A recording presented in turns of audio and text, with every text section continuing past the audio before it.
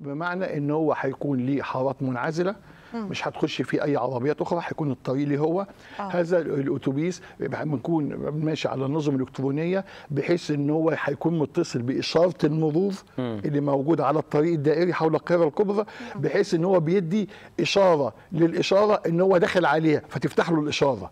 بمعنى إن هو مش هيقف في إشارات هيبقى ماشي على طول وهتتحدد له محطات هذه المحطات هيتم تحديدها وفقا للكثافات السكانية اللي هتكون موجودة أعلى الطريق الدائري عشان تركب هذا الأتوبيس بالإضافة إلى التقاطعات الرئيسية الموجودة في الطريق الدائري هذا هذه الأتوبيسات طبعا أتوبيسات مكيفة فيها واي فاي فيها كراسي فيها نوع من وسائل الراحة والأمان هل للمواطن بتعمل المصري. بالشكل الذكي اللي بنشوفه في أوروبا إن مثلا لو أنا. معايا كارت بعمل الكارت كده وأدخل بالظبط. وبالظبط وهيكون هذا الأتوبيس بيتفتح بالكارت وبيتقفل بالكارت وده هيكون مع مع قائد الأتوبيس هذا بالإضافة إن هذه الأتوبيسات بتسع 167 راكب اللي هو الأتوبيس المزدوج وهذه الأتوبيسات عندها القدرة إن هي تحمل 4000 راكب في الساعة الواحدة. مم.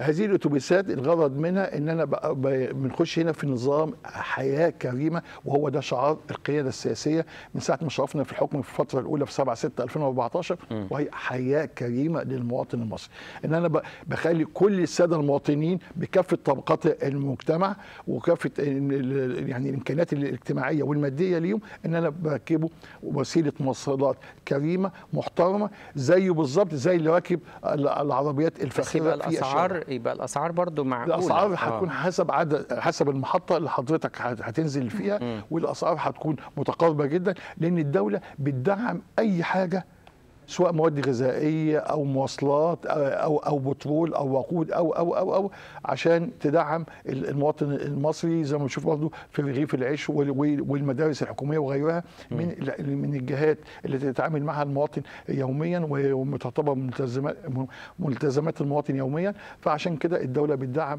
هذه التذكرة. طبعا اللي جاي بال... بالكرتونة والشكارة ومعاه شوية معدات مش هينفع يركب لا الاتوبيسات ما دي ما مش هينفع. يركب. يركب حاجة من تحت بقى. ب- ب- بالظبط كده. وبعدين عايزين نوضح إن كل محطة هيكون فيها منزل للكوبري وسلالم متحركة. حضرتك هتنزل من المنزل دوت أو السلالم المتحركة هتلاقي الميكروباصات واقفة تحت هتقوم بتحميل السادة المواطنين إلى الج- الج- الجهات اللي هم هيتوجهوا يعني ربط فيه يا ست ربط بالمحطة دي تكون مربوطة بال- بالموقف. يعني ده خليني برضو نقف بالظبط. على فكرة المواقف العشوائية اللي هي كانت في أي مكان. الناس دلوقتي بتشتكي من إن السلم ال- بتاع المشاة الدائري ما بقاش موجود واتقفل أثناء عملية التوسعة أو التطوير. فاللي هي دي كانت تمثل خطورة على حياتهم. كل يوم كم من حوادث كان بيحصل بالظبط. للناس. وبعدين كمان عايزين يعني منع الميكروباصات من اعلى الطريق الدائري الغرض منه عدم التداخل بين المواصلات وفي نفس الوقت عشان أسهل الحركة المروريه. الطريق الدائري حول القاهرة الكبرى ده طوله 106 كيلو متر مربع. هذا الطريق كان بيمشي عليه يوميا 220 ألف سيارة. ما عدا الجمعة الخميس والجمعة والسبت كان بيمشي عليه حوالي 240 واحيانا 250 ألف سيارة.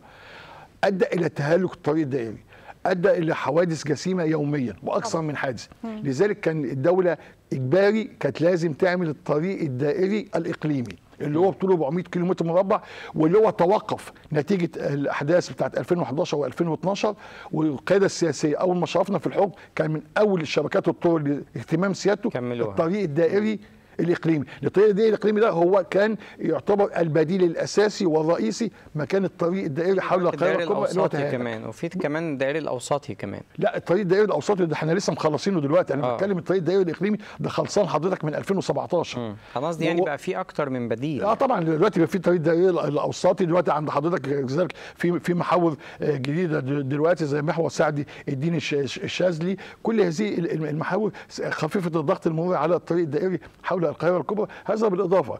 إلى منع سيارات النقل الثقيل اللي هي 5 طن فاكثر من السير حول الطريق الدائري حول القاهرة الكبرى من الساعة 6 صباحا حتى الساعة 12 ليلا فبالتالي قدرنا نخفف أعداد وأحجام السيارات اللي بتمشي في الطريق الدائري حول القاهرة الكبرى وساعد بشكل كثير على تسهيل وتسهيل الحركة المرورية بالإضافة إلى الحد من الحوادث يعني المرورية. إمتى ممكن نشوف الحاجات الحلوة اللي حضرتك بتتكلم عليها إن شاء الله بإذن الله يوم 30 12 من هذا العام هتتفرج على الطريق الدائري حول القاهره الكبرى اللي هيكون فخر للمصريين.